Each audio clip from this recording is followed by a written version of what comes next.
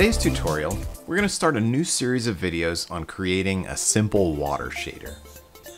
The first thing I like to do when starting to create a new shader is to go out and collect reference. It's important to take a look at what the thing you're trying to create actually looks like.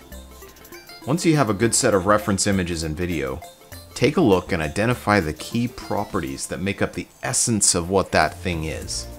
And those are the things you're going to try to imitate in the shader. It's also important to identify some things in the reference that you're going to leave out. Nature is infinitely complex and it's impossible to do everything. So make sure to decide what you're not going to do. So here we're looking at some reference images and video of some mountain streams.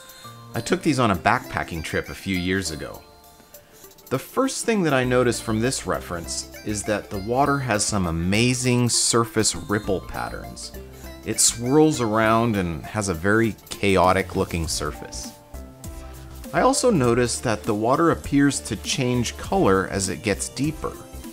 The shallow water is almost completely transparent, but the deeper the water gets, the more opaque it gets and the more color that I see.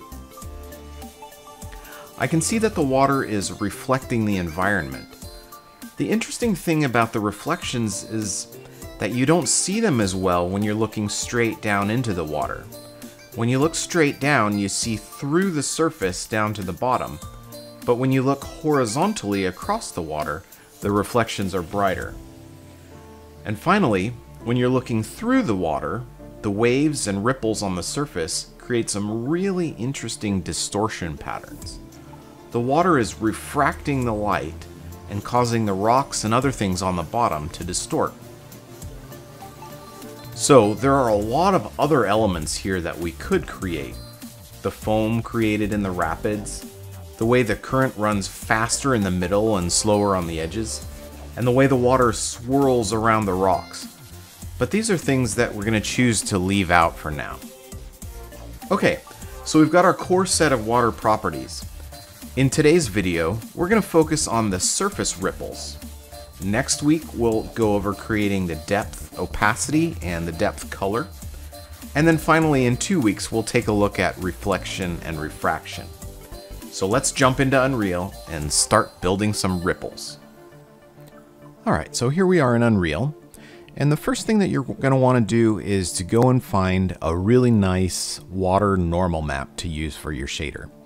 And for the purposes of this tutorial, all I did is uh, go to Google image search and do a search for water normal map. And you can see that there are tons of results here. And I think this is the one I ended up picking. You're going to want to choose one that has a lot of detail. There is a water normal map that ships with Unreal as part of the, the uh, default content. But the thing that I don't like about this one is that it doesn't have a whole lot of details. So if I if I show you this, you can see that um, the scale of it is kind of small, so there are only a few ripples in the texture. And the problem with that is that you end up noticing the tiling artifacts a little bit more. The one that I chose uh, looks like this, and you can see that there are a lot more ripples in here, so I have to tile it less, uh, and that makes the tiling artifacts uh, a little bit less. Okay, so let's jump into our shader here. And to begin with, uh, we're just going to connect our normal right up to the normal socket and see what we get. And already you can see that we get something that looks pretty good. It's it's it's starting to look like the ripples of water, which is exactly what we want. But we need to make the ripples move. One of the nice things about Unreal is that it comes with a lot of pre-built nodes to do the, same, the kinds of things that you want to do. Um, so we're going to look for a node called Panner. And what this node does is it scrolls textures. So I'm just going to connect the Panner node to the UV socket of my texture sample. And then I need to give it a speed. So I'm going to drag this out and do a search for constant and for now, I'm just going to give it a speed of 1 so we can see what it does.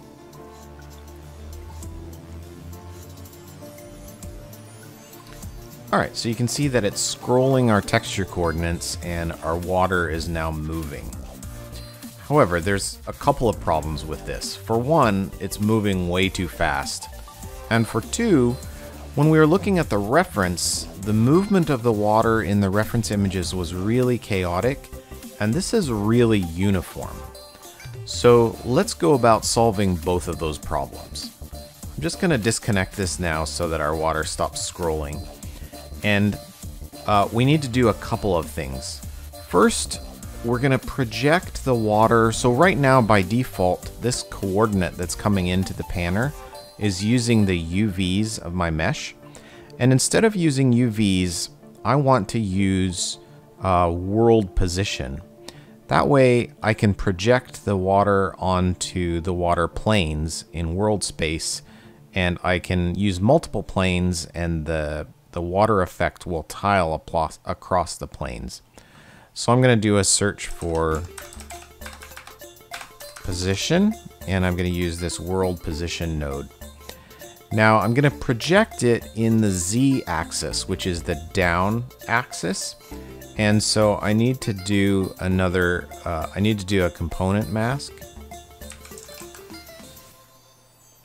And I'm just going to use the red and the green, which is the X and the Y of the component mask. And I'm going to pass that into the coordinate of the panner node. So that will get the correct uh, projection for my, my coordinates. Now the other thing that I need to do is control the size. Um, so I'm going to add a multiply here. And this value will scale the effect. So I'm going to add another constant. And I'm going to give this a value of 0.0035. So right now you can see that I've got results here, but they're just way too small. Um, but if I multiply my world space coordinates by 0.0035 uh, and then connect that up, we'll get something that's a little bit more reasonable.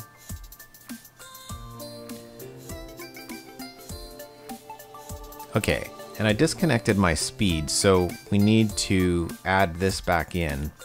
So I'm just going to connect my speed here and then clean up my graph a little bit. And you can see now that because we're projecting in world space, uh, speed of 1, whereas when I was using UVs, uh, it was too slow, but now because it's world space, uh, it's...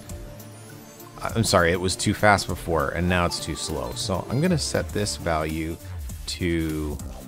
Um, actually, yeah, let's set this value to 17.5. And let's see what we get from that.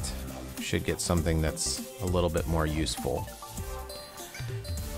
Now the other thing that I want to point out is that we're scrolling diagonally, and that's because this value is being applied equally on the u and the v, or on both the x and the y coordinates. So what I want to use instead of a constant float value here is I want to use a constant vec2. So let's do a constant 2 vector and plug that in. And on the u, I'm want to do 17.5. But on the v, I'm want to do uh, 8.5. Now this is to scroll it not not exactly diagonally anymore, but it'll be it'll scroll more on one axis than the other. Now notice that it's not perfectly axis aligned. It's it's scrolling a little bit uh, in both dimensions, a little bit more in X than in Y, um, but that's kind of what I'm going for. Alright, so let's clean up the graph. And the next thing that I want to do is duplicate this. I want these nodes to be nice and clean so that when I duplicate it, uh, everything will be uh, nice and organized. So the reason that I'm duplicating this is I can create some chaos in the ripples if I sample my normal map multiple times where each time is scrolling a different direction. You might note, uh, you might remember that from the video that I did, uh, episode number four, where we did the distortion shader. I sampled the distortion texture a couple of times and scrolled it across itself. And that's the same thing that I'm going to do here. So I'm going to copy all of these nodes and paste them. And I'm going to give different scrolling speeds and scale values. So let's start out by, I'm just going to change this scale value a little bit. Instead of 0.0035, I'm just going to make 0.003. And then for the speed, here, I'm going to use 0.25, so just a tiny bit in the x-axis, and then I'm going to use negative 15. So this one's going to be scrolling the opposite direction in the, the, the y-axis. Alright, now I'm going to pass the same uh, absolute world position into the coordinate for this panner as I did for the other one. And now I need to combine my normal maps together. So I'm going to move these over just a little bit. And there are multiple ways of doing this, but I'm going to do it kind of a cheap way. I'm going to use an append node here. And I'm just going to take the red and the green. And I'm going to do that for both of these. So I don't care about the blue channel for now. I'm just going to ignore that and just take the red and the green. And then I'm going to add these together. Now you can't do this if you have the blue channel. Um, the blue channel cannot be added. Um, but if you just take the red and the green channel, then you can add them together. And then for one last node here, I'm going to add a multiply and I'm going to add a constant and this constant is going to control the strength of the normal map. So like if I plug this in right now with a constant of zero, uh, we'll get nothing at all. Um, that's going to be a, a, perfectly flat normal. But what I want to do here is uh, set this value to 1. And then finally, instead of using this blue channel here, I'm going to add a node called derive and I'm going to plug my X and Y into that. And what this does is it will take the X and Y that I've generated here from this normal map and this normal map, and it'll calculate the Z, and it'll give me the result of X, Y, and Z so that I can plug that into my normal. Alright, so now we have our two normal maps, and they're scrolling in different directions and they have slightly different scales and different speeds, and we end up with something that looks pretty cool. It's starting to look like water. Now remember, in this week's tutorial, we're not covering reflection, refraction, opacity, and those kinds of things. We're just going over the ripples. So there are two more things that I want to do with the ripples, and then we'll call it good. I'm going to copy these nodes uh, one more time and this set of uh, normal map sampling nodes is going to do something kind of interesting. You'll notice that I have the two here that are almost exactly the same speed. Well, I'm going to make this one a lot larger. And what it's going to do is create a pattern that's really big that represents like these really large, slow moving waves across the surface and it's going to break up any tiling that I might see from the fact that these two are almost the same size. So I'm going to take this constant node and replace it with a constant vec2 and I'm just going to give it some really small numbers which will make uh, the projection really large. So I'm going to give it 0.0001 and 0.0004. And then for speed values, I'm going to give it 2.15 and 2.8. Now it's really important for me to point out that when you are doing this, uh, the speed and scale values that you end up with may be really different from what I get. The important thing is to spend some time and tweak these values so that you get something that looks like the reference that you collected. Alright, I'm going to add a multiply over here to control the intensity of this normal. And I need to give it a constant of 1.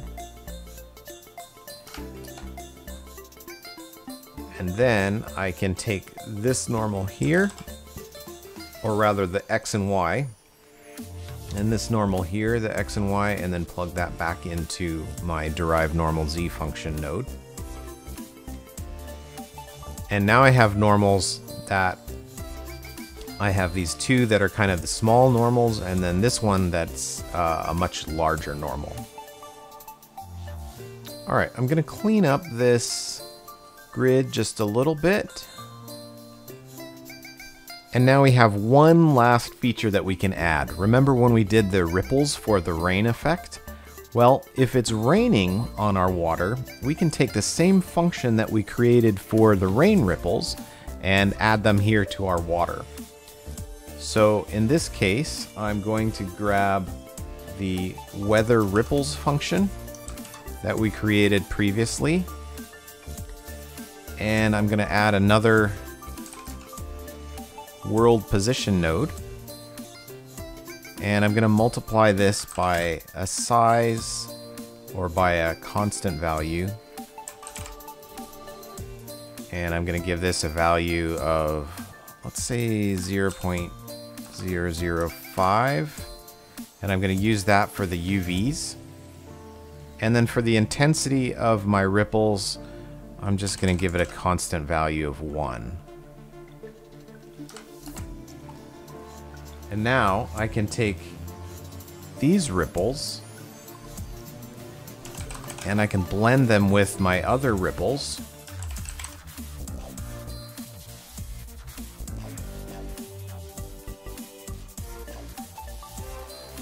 So the water surface ripples are all added together here. And then I'm combining them with my raindrop ripples here using this node called blend angle correct normals. And then I'm going to pass that. Actually, I need to reverse this. I need to put my blend angle correct normals over here. I'm going to make this my base normal. And I'm going to make my rain ripple normal my additional normal and then I'm going to pass that into my normal socket. So I only want this if I know I'm going to get raindrops on my water. Um, that's just kind of a little bit of an icing on the cake. Uh, but you can see here now that I've got my water ripples and I've got some nice uh, raindrops hitting the surface as well.